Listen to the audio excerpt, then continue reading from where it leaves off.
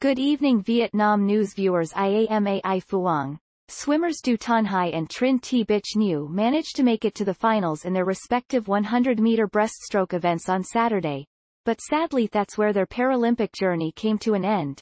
Hai finished at sixth in men's breaststroke, an improvement on his time, and place at the last games in Rio. Nhu finished in seventh place in her final. Well done to both of them for their amazing efforts. Meanwhile in the field, husband and wife duo Nguyen Thi Hai and Cao Ngoc Hung, were in action in the discus and javelin.